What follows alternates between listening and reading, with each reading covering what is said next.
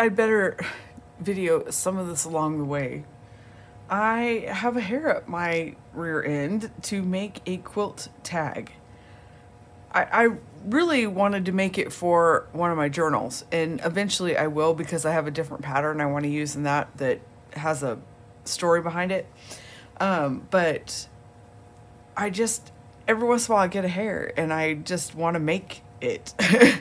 so I found a quilt pattern that I liked. I like this, it looks like a heart and I want to incorporate that into a tag. And I will leave the information for this quilt pattern down below so you can find it. It's a free quilt pattern. Obviously with paper quilting, you cannot do like a quarter inch border or anything because you're not sewing it together in the same sense, you're gluing it. So you, you just have to figure out what your final sizes are and then you cut your paper and glue it down. Uh, so I pulled mine into my computer and figured out how many blocks I would need to make to get the inside of the tag that I want to do. I mean, I'm doing the uh, the Tim Holtz um, tag and bookplate size tag, and um, so that gave me a basic what it would look like when it's done. Obviously, all these edges will be gone, and uh, so I went from there and I figured out how big I needed my squares to be. This is the full width of the tag, but I needed it blown up so I could see. so, um, I went through my stash of paper trying, try, Penny's losing his mind. if I had my phone closer. He's doing the risky business where he comes running into the room and he hits this rug I have in front of the pellet stove and it slides across the floor. oh, never a dull moment. Anyway, Biddy. Yeah. Okay. Anyway, so I went through my stash and I really wanted to do it in pinks, but I just couldn't find enough coordinating colors to work with the pinks that I I don't know. I I spent way way too much time trying to figure it out and anyways, I decided since this weekend coming up is Valentine's Day, I'd go with Valentine's type colors. And so I found um, in my stash, oh gosh, these are so old, you guys. Um, I think they're 2011 Yep, 2011, My Mind's Eye. I have the whole collection, every single one of them. Um, and anyway, so this one had enough neutrals in it to do the outside plus a couple pops of color for the inside. So that is the paper stack that I'm going to use for that. And then I found, um, let's see here, I got stuff everywhere. All right, so then I went through and I figured out what patterns I wanted to go in which which places and I numbered them and then I numbered each of the sheets that I had so that I can correspond with them. I put a piece of sticky tape on the back of them and cut out the size strip because the reason the other reason I picked this pattern is if it it looks really complicated but it's just strips. They're all strips. There's no diagonal lines or anything like that.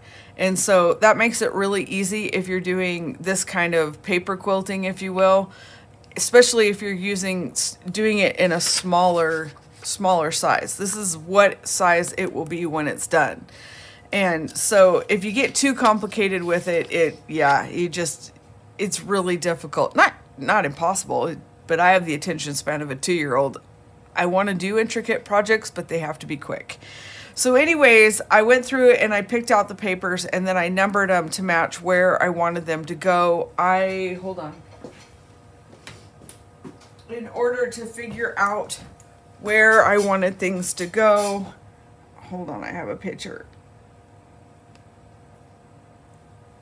I um, laid them out kind of in the way the pattern's going to go. So you have a number one here, Number two is going to go here. Number three, four, and five, so on and so forth.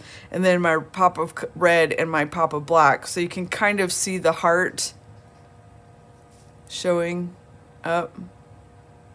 So that's, that's, whoops, drop it on the floor. That is how I figured out um, where I wanted what colors to go. So I have this neutral, a music note, a floral, some text, this patterned material, and then of course the black and white polka dot and the red and cream polka dot for the centers. And so to to figure out exactly what size I needed because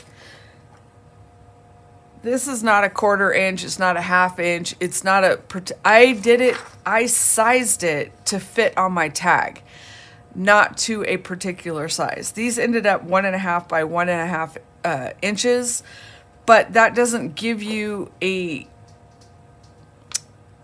like a quarter, a nice round quarter inch increment. So to make sure I got the exact same size, because they're all the same size, I printed out another set of them and I drew a dark line down here. And so when I line it up on my, my paper trimmer, I basically take it, I need a piece of paper here. My trimmer is a Caterpillar, so it's great big, so I can't bring it over here. But imagine, this is where you line it up. Here's your cut bar, okay? And so I just lined this up in the corner so that it was perfectly square. And then I moved it over underneath the blade so that it lined up exactly on that mark. I took off my pattern and I cut it and I did that for all of them. And I did one cut at a time. I didn't try to layer them or do a whole bunch of time, uh, cuts at a time because it'll slowly get off the the more layers you have and you really kind of you know you need them as exact as you can get. These it's are probably 11, 15. probably not even still not exactly perfect but they're as close as i can get. But you want to do them just one strip at a time. And so that gave me a perfect template for this size block. Um, so now the next next I thing that I have to do is um, I have to cut, and what I'm going to do is I'm not going to use the, the line on my cutter. I'm going to use the line here. And so to, in order to get the pieces, let's pretend this one's the one that's going to go across. I will draw a line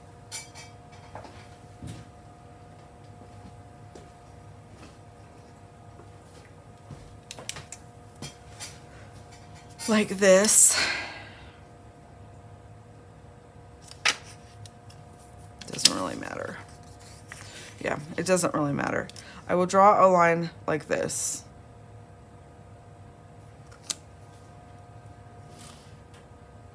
Okay, this just makes it easier for me to line up, blind as a bat.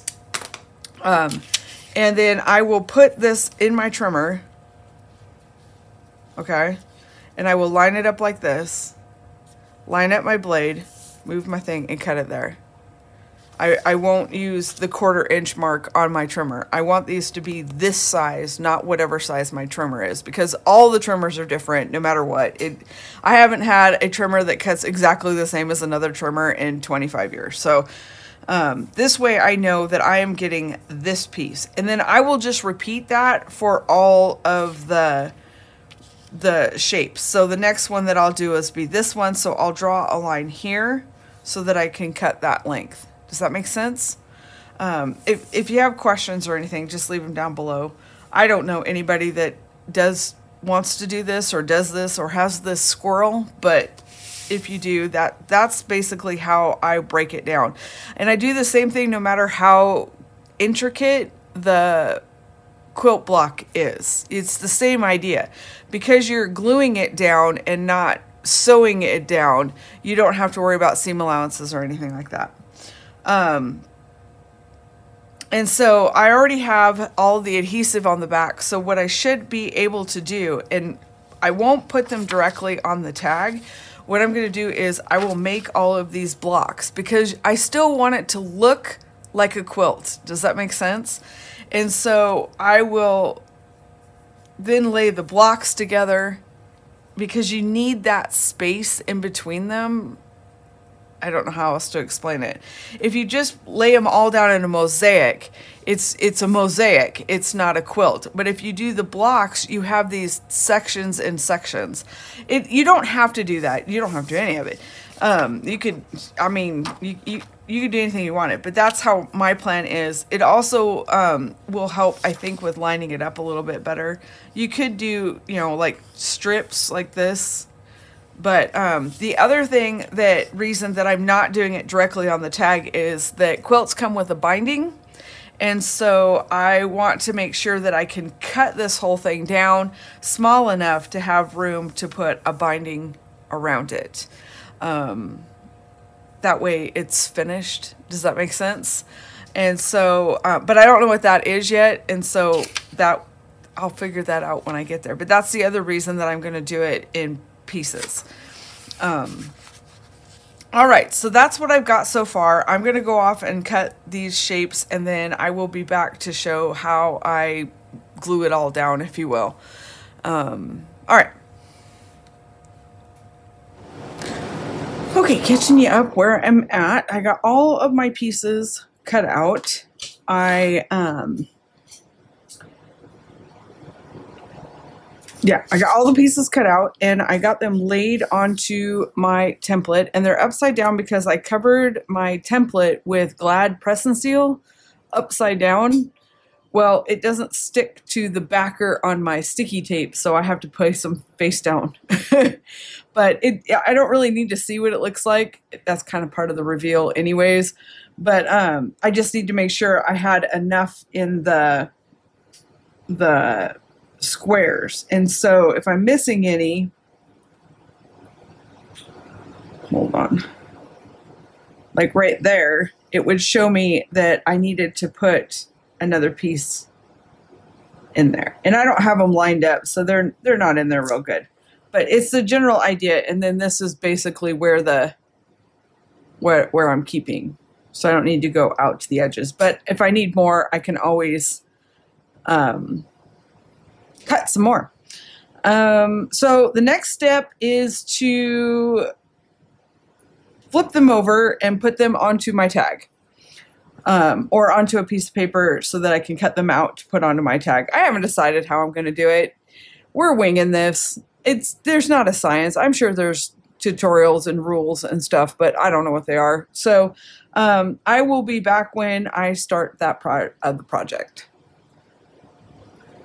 Okay, I wanted to do a check-in and show that no matter how careful you are with cutting, it's still going to be off. It, it's just, no two cuts are ever the same. So this is the other reason why I do the blocks individually. That way I can cut these blocks square and then put them on my project. So I don't have to worry about overhang or anything like that and one of them I cut completely wrong, so I've been piecing it in there. But if you do it in individual blocks, then I'll just go through and cut this apart and um, square them up, and then they'll butt right up. And you're not looking for per perfection here. This isn't actually a quilt. so, you know, just do your best and just have fun with it. But I think it's turning out pretty good. I've got them upside down from each other, but you can kind of see the heart. See it? What do you think? All right, I'm going to go back to tedious piecing here. I'll be back. Another update. All right. So I only did the full size blocks so far. And this is what I've got so far. They're not they're just sitting on the sticky paper. And basically, this is what each one of the blocks looks like.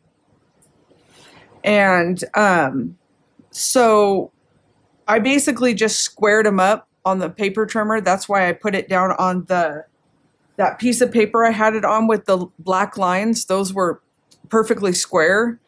And so I just cut them to those lines so that they squared up. They're not all the same size. I don't care. It's okay. It's all right. Um, if you've ever seen me sew, you'll know that nothing's lines up either, so it's all good. Anyways, uh, just to make sure I have enough pieces, I have uh, laid it on here full size pieces. I know that I have. Whoops! I need I need to. Um, I have a bunch of the the part bleh, English the parts that are going to fill in these edges. But I wanted to make sure I had enough full size blocks. But isn't it cute so far? And then I'm going to cut all of that off. I may have to make a bigger tag because I don't know if I can cut all that off. I mean, it needs to be at least out here, right? So we'll have to see how it goes. There's my faro. Time to go make dinner. I'll be back.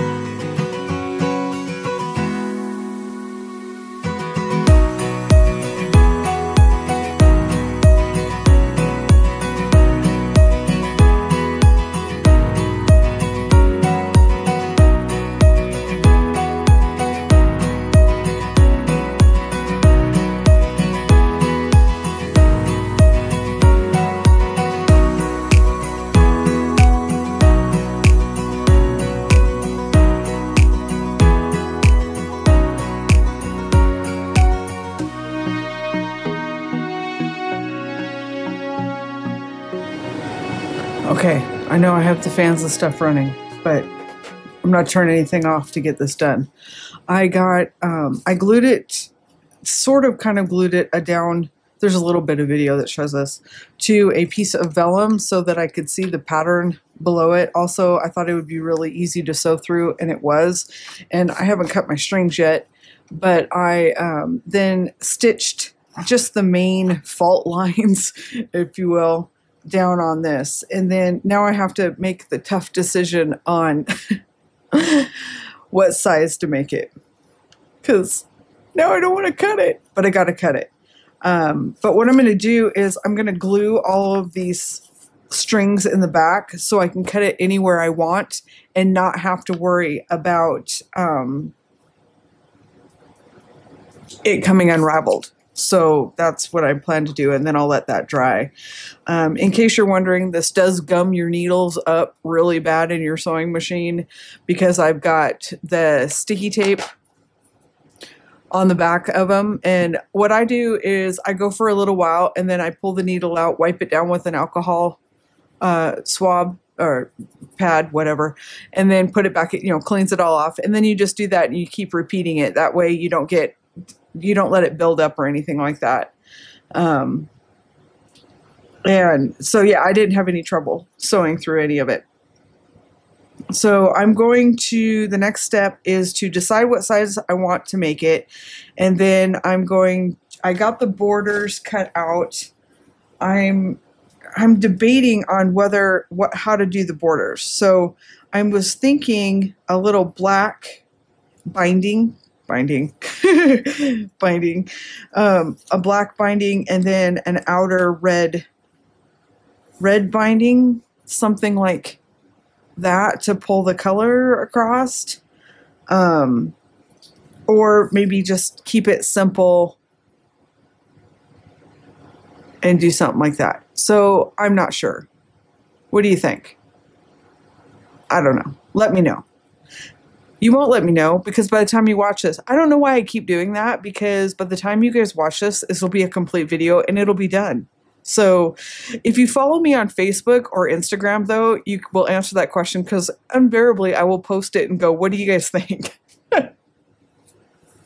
so if you'd like to chime in along the process, follow me on Facebook or Instagram. Uh, both are Mouse Potato Designs but um, all right, so I'm gonna go make that decision, and then I will be back.